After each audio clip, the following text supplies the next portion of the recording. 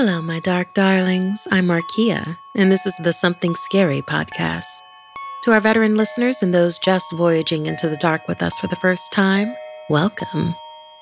Hope you all had a nice Thanksgiving. The holiday season is officially upon us. Along with that, as a society, we are obsessed with games. We love to watch them and cheer for our favorite teams. We love to play with our friends, but sometimes, sometimes, the fear of losing will make you so desperate you will do whatever it takes to win, even if it means risking your own life and taking down everyone else around you in your fatal games. First, a small box of death, followed by a killer game of truth or dare. Then, a mother's living nightmare. Finally, in our featured story, a fatal game of Bloody Mary.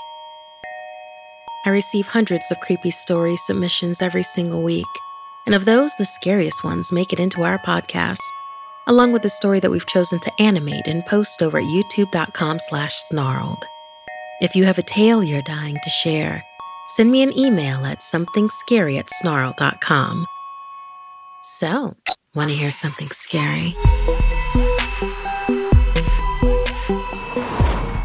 Fatal Games. When the promise of money clouds your judgment, all the remorse in the world won't bring back the dead. Like in this story inspired by Donna. Megan was exhausted after a long day of work. She sat slumped on the couch watching the evening news. The lead story was about a man who had been found dead in his house in seemingly mysterious circumstances. There was no sign of trauma, no physical wounds on his body. Entry to the home had not been forced.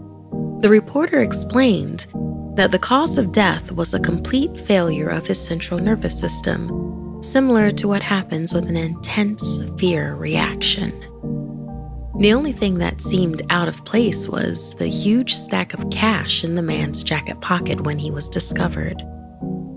The story held Megan's interest, as there had been something similar in the papers just a day or two ago. She was about to tell her wife Keandra about the bizarre similarity when she heard a knock at the door. It was almost 7 p.m., they weren't expecting anyone, and Keandra was upstairs getting their daughter ready for bed. When Megan opened the front door, she saw a tall man dressed in a black suit and hat standing at their doorstep, holding a small box in his gloved hands. Who was this strange man? Was he trying to sell something? The man quickly placed the box in her startled hands as he intensely looked at Megan. One of his eyes was green, the other was blue. Listen carefully. I will not repeat myself, the stranger instructed in a smooth voice. This box is very special. If you were to open it, you would find a lever with two labels pay and return. He tapped the top of the box with a finger. I will leave it with you for 24 hours. Within that time, you must make that choice pay or return. Megan glanced down at the small box. It looked okay, made of wood and painted white. If you choose return, I will reclaim the box and you will never hear from me again. However, if you choose pay, a person unknown will die. Megan gasped, but the man showed no emotion as he added, But you will earn $10,000. He lowered his mismatched eyes, hiding them under the rim of his black fedora. That is all. Now I will leave you to make your choice. He turned on his heel and melted into the darkness of the night. Megan was baffled, but took the box inside. She walked into the kitchen where Keandra was warming some milk. She explained the strange encounter. Keandra examined the box. It was completely normal, made of plywood, white inside and out with a little black metal lever. Two small brass plaques read Pay and Return, as the man had indicated. Keandra questioned if it was even real or just a prank as they debated their choices. They didn't want someone to die, but $10,000 would help with school and medical bills. They could really use the money, and for all they knew, the unknown person in question could be sick already. They made their choice, held hands, and pressed the lever towards the little plaque that read, Pay. The next day, when Keandra was finishing up homework with their daughter, Megan was pacing around the den when, just before 7 p.m., there was a knock at the door. She rushed to open it and found the same man in black attire with the chilling green and blue eyes. I see you chose pay, he said nonchalantly. Here is your payment, as promised. He pulled a large stack of money out of his pocket and placed it in Megan's hands. Now, the box, please. Megan returned the strange item and the man left without another word. She shut the door and walked into the den, money in hand. Part of her was in shock that it had actually happened, and she was also feeling anxious as she turned up the volume on the TV. Right on cue, the newscaster began to report about another mysterious death. A healthy young lady, Alexandra Cliffside, had died unexpectedly in her house with no physical injuries and no signs of forced entry to her house. It seemed like yesterday's victim, she had died from fright. Yet again, the only evidence of any interest was a money clip loaded with $100 bills in her bedside drawer. The total was calculated as exactly $10,000. A lot of cash for a kindergarten teacher. Her daughter's kindergarten teacher. Megan's hand flew to her mouth to stifle a scream. She looked at the wad of banknotes still in her other trembling hand. They'd let their desire for money get in the way of a human life. Unknown had meant they couldn't choose. Not that they wouldn't know the person who'd been chosen. The much loved teacher who just happened to be in possession of exactly $10,000. Megan suddenly understood with terrifying clarity what pay meant. There had been an undisclosed caveat. She was now intrinsically part of the game. The next person to choose pay would set the ball rolling. An unknown pool of victims who had also chosen pay before her. And now Megan was part of that deadly lottery. Nothing in life is free. Thank you so much, Donna, for inspiring this gambling horror for us. How about you, listener? Would you choose pay or return? Have you ever made a decision you deeply regretted but couldn't change? Would you make a deal with the devil to get what you want? The holidays are supposed to be happy times, but we know that as hard as we try, sometimes it doesn't work out that way. While there is certainly lots of fun to be had, families and friends can cause lots of stress and anxiety. If you just get the blues around the holidays, then schedule an appointment today to connect with a therapist at Talkspace. Therapy has made a huge difference in my life, and I believe it will make a big difference in yours as well. It's really easy to match with a licensed therapist and schedule a session. And you can also get unlimited messages with your dedicated therapist. If you need a little support to help you through the end of the year or want to start building towards a better upcoming year, Talkspace is here to help. Match with a licensed therapist when you go to Talkspace.com and get $100 off your first month with the promo code Something Scary. That's $100 off when you use code Something Scary at Talkspace.com. It is often the people we assume are the toughest who crumble first in the face of real danger. Like in this story inspired by Rohit. Bala was unpacking his suitcase, ready for his stay and training at the Sri Lankan Military Academy. He'd been allotted Barracks 9 along with three other cadets Subu, Ravi, and Vavan. The mornings were usually spent with physical tasks and tactical maneuvers, and the nights were full of tired snores and aching grunts. After a month, Bala had gotten used to the routine and started looking for ways to enjoy the spare time in the evenings. He usually played cards with his buddies in the barracks, never noticing that the nights in the camp were eerily quiet. Everyone was too scared to leave the barracks after dark fearful of patrolling guards, so they'd say. But one evening, during a wild game of truth or dare, Bala and Subu were dared by Ravi to fill their bottles from the water supply at the very back of the camp. Bala was reluctant, but Subu quickly agreed. He didn't want them to look like cowards. They tiptoed out quietly this kind of act could get them in serious trouble, but Subu was adamant. They walked slowly towards the open field in front of their barracks.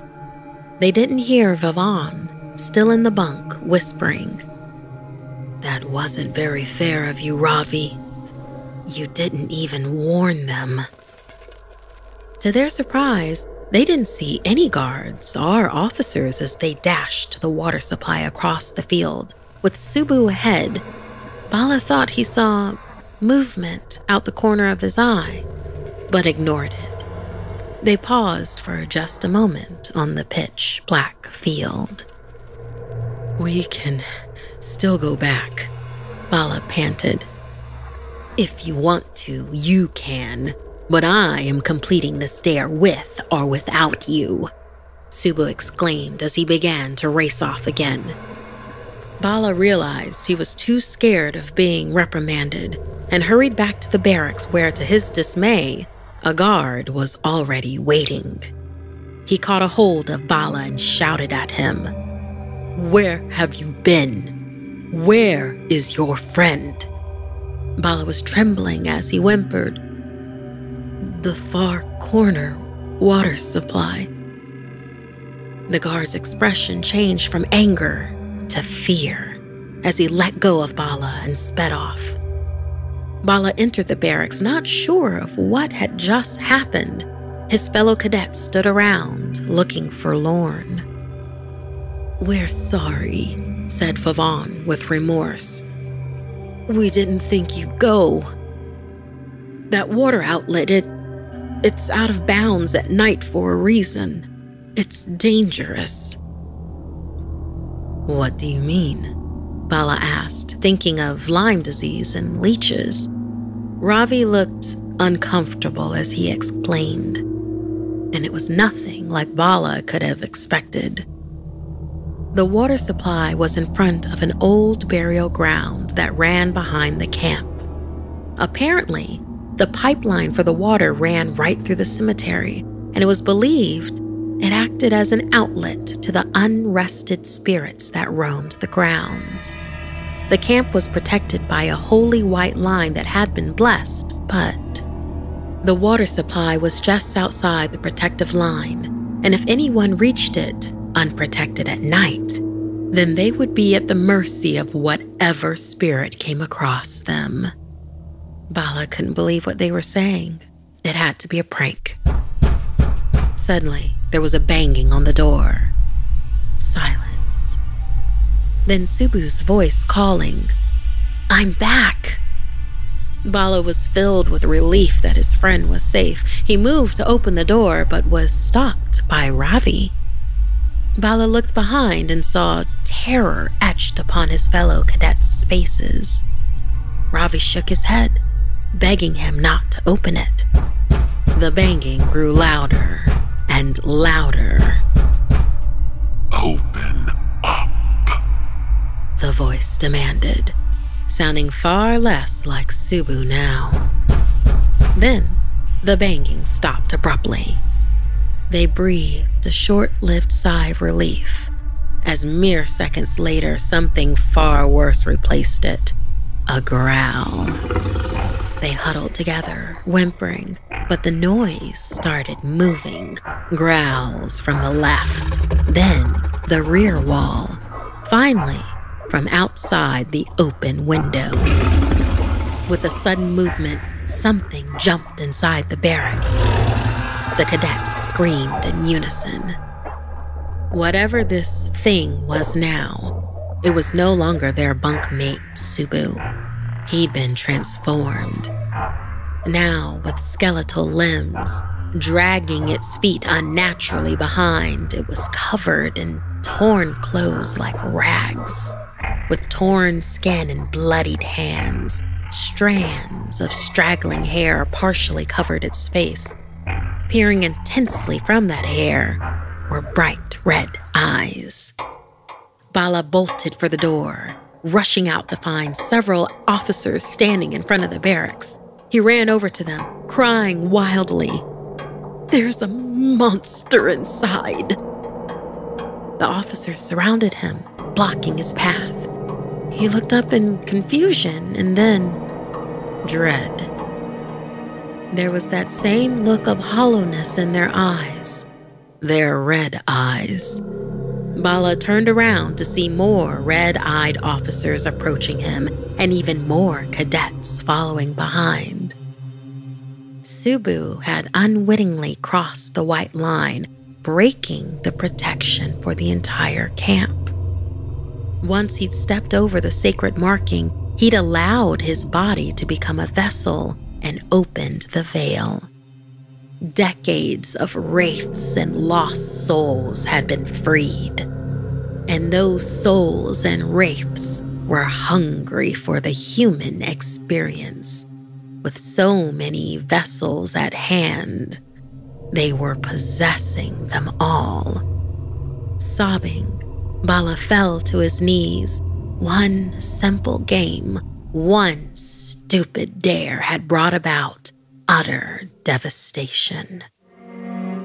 The spirits who walk the earth trapped in their own personal purgatory had been able to enter the camp. The academy was infested with vengeful ghosts, and no one was getting out as themselves are alive. Thank you so much, Rohit, for this military horror story.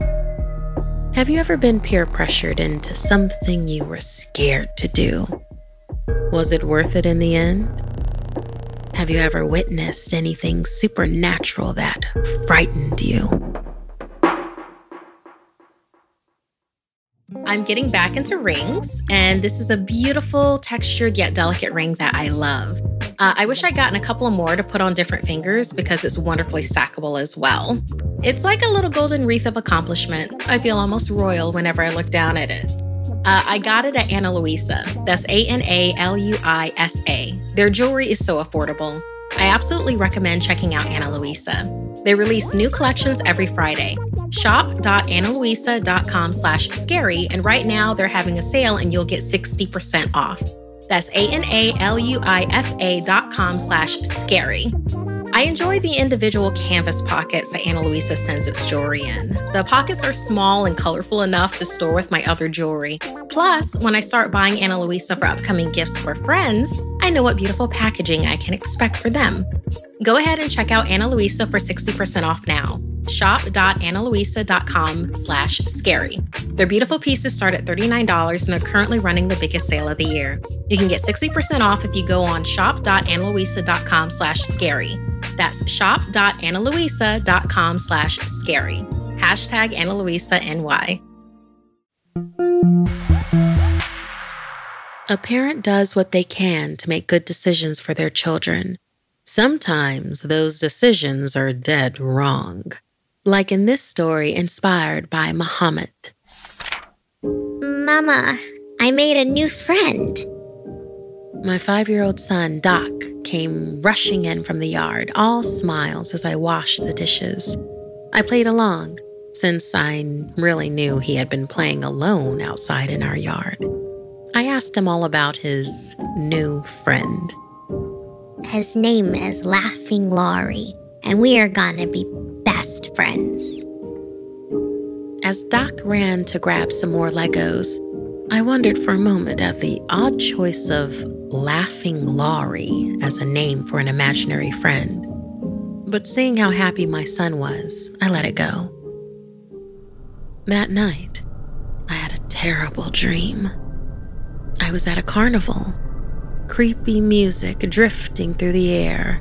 I'd lost all my friends and was alone inside of the big top, the largest tent where all of the big shows occurred at any circus or carnival. All of a sudden, shadows of circus performers surrounded me. Then I realized in horror they weren't performers. They were kids, and they were all horribly mutilated, and I woke up, sweating. As I glanced at the alarm clock to check the time, I was surprised to see one of Doc's favorite stuffed animals on the pillow next to me. How had it gotten there? Honey, did you leave one of your toys in Mama's room? I asked the next morning, making waffles for breakfast. Doc shook his head. It wasn't him. Laughing Laurie had put it there to watch me. Watch over me. That's sweet, I replied. No, Mama. To watch you. This pattern of behavior continued over the next couple of weeks. Being a single parent forced to work from home during COVID restrictions, Doc being entertained was a godsend even if things did keep going missing, especially from the kitchen. When I asked if he knew anything about it, Dak told me Laughing Laurie is funny, but his jokes can be kinda mean. I was also suddenly suffering from occasional night terrors, and funnily enough, they were always about the circus. One afternoon, after a particularly bad night, I realized to my chagrin I had dozed off at my work table. Doc. I called out to him, but there was no answer. I ran into the yard. No sign of him. Racing to the front of the house, I saw him sitting on the stoop, crunching something in his mouth. Dak, I called, running over to him. What are you doing out here, and what on earth are you eating? Candy, Mama, Dak replied as if I should have known. From Laughing Laurie. Dak had never lied to me, yet I knew this couldn't be true. So I panicked, making him spit it out and empty his pockets. As we went back inside, I tried to get the truth out of him but he was adamant the candy was from his imaginary friend. Later, as I stared at him, now playing on the floor with his toys, I could hear him humming. He was humming the song from my carnival nightmares. Things came to a head when I came down the next morning to discover every one of our tropical fish were dead floating in the tank with them were hundreds of the same candies Dak had been eating. Terrified that someone had been in the house, I called the cops and asked our neighbor Rhonda if she could look after Dak for a while. The police came, but found nothing untoward, just a tank of dead fish. They collected the candy to check for poisons, but along with the fact that there was no culprit and no obvious sign of a break in, my worries weren't high on their list of priorities. That night, I set up Dak's old baby monitor and slipped a kitchen knife under my pillow. Despite the police's reassurance, something had overloaded the tank with candy, and it wasn't me. Could Dak have done it, or was it something else? Around 4 a.m., I was woken by the sound of static on the monitor, sounding like heavy breathing, moaning. Grabbing the knife, I raced into Dak's room and froze. My heart broke in two as I took in the devastation. My little boy was laid on the bed, ripped apart, limb from limb. His gut had been torn open, organs discarded on the carpet below, and in their place were hundreds of little candies. I screamed in anguish, still unable to move. Then I heard a noise from beside me, coming from the closet. Frozen with fear and grief, I just about managed to turn my head. There, just outside the closet, was a figure. Small, yet oozing with menace. It moved awkwardly, and as it shuffled into the light, I thought I might pass out. It stood around four feet tall, dressed in black and white rags. On top of raggedy, greasy, straw like hair sat a tiny pointed hat. Its face was stark, except for the white and red clown makeup around its eyes and mouth. A mouth stretched into a malicious grin, exposing yellowing, sharp teeth. It rocked back and forth as it moved, limbs dangling as it reached out towards me. Pop goes the weasel.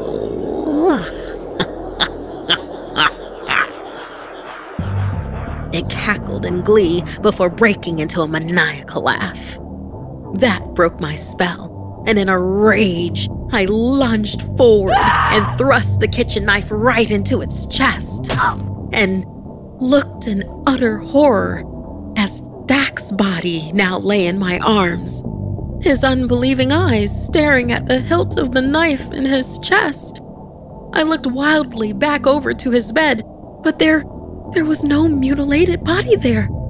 None. Just a single candy on his pillow. I looked down at my precious baby boy just before he uttered one last word. Mama? Thank you so much, Mohamed, for inspiring this circus tinted tale for us. If someone you knew had a friend you couldn't see, would you believe them?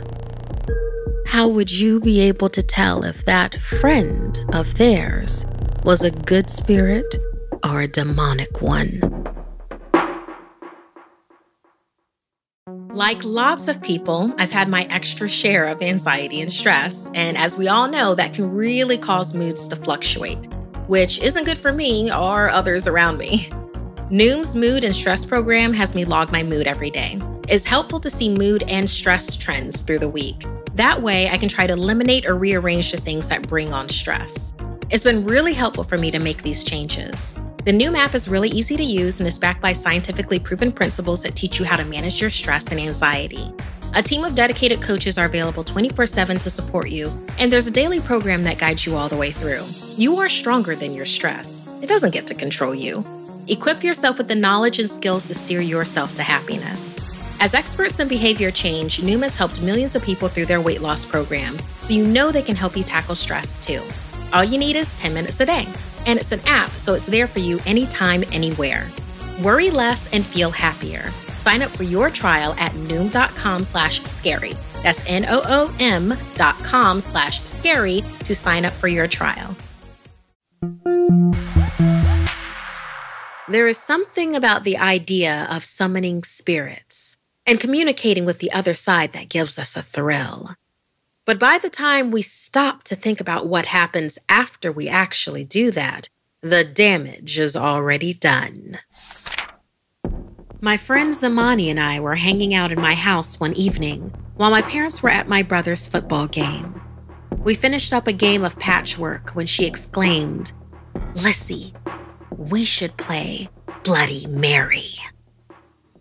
She was into all those creepy pastas and urban legends, but games like trying to call forth entities like Bloody Mary, where you chant into a mirror, scared me.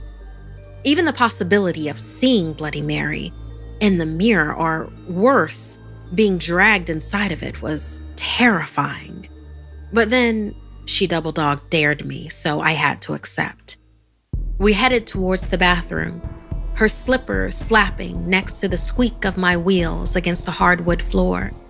Stopping by the bathroom door, Zamani picked up the wooden cross on the wall next to a family portrait.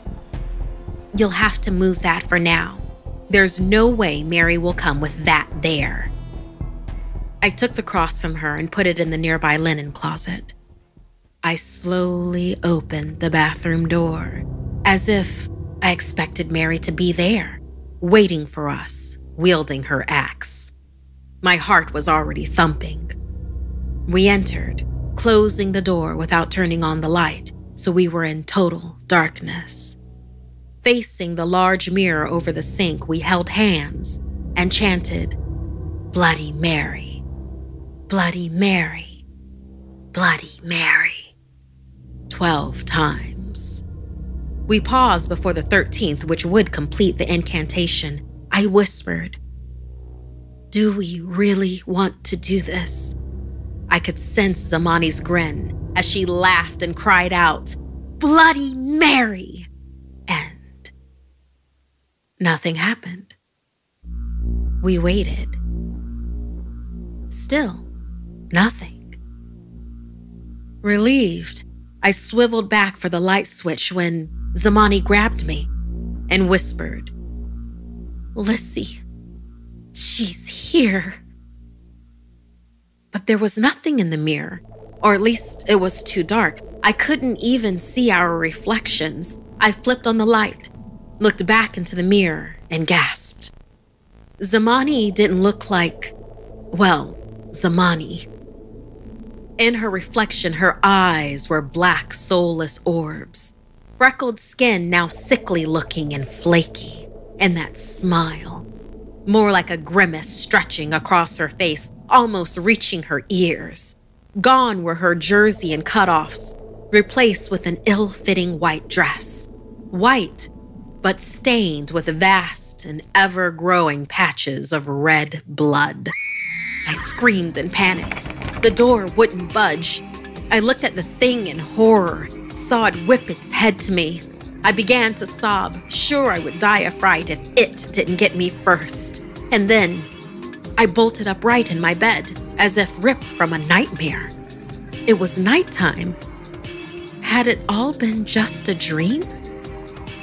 Despite my fear, I knew I had to check. As I headed to the hallway bathroom, I stopped by the linen closet, chilled to find the cross in there. I rehung it, angled inside, closed the bathroom door, and turned on the light. Psyching myself up, I turned around and stared into the mirror, only to see my so called bad dream replay in the reflective surface. Zamani with black, soulless eyes the maniacal grin stretching her face, the blood stained clothing. I froze in terror, transfixed. Only this time at the end, my possessed friend stabbed me in the back, literally. I slumped forward, scrambling for purchase on the counter, expecting to see blood, feel pain. There was nothing, only shock, as I rubbed my eyes, and the vision was gone. The mirror only reflected my own terrified face.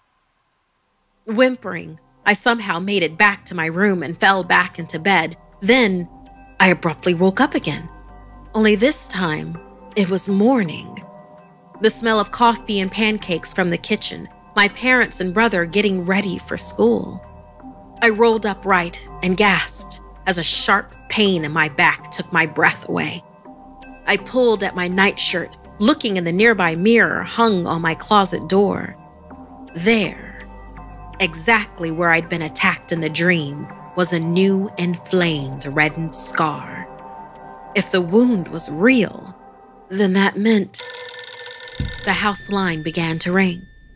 My mom answered, then called out, Lissy, honey, did Zamani sleep over? Her mom is so on the phone and very worried. She didn't come home last night.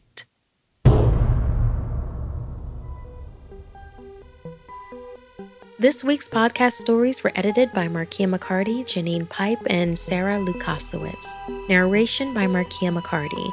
Audio edited and mixed by Fitz Harris. Additional audio editing by Calvin Linderman. Art and graphics by Mari Carlson. Produced by Hannah Mullen and Markia McCarty. Music by Sapphire Sandalo and Calvin Linderman.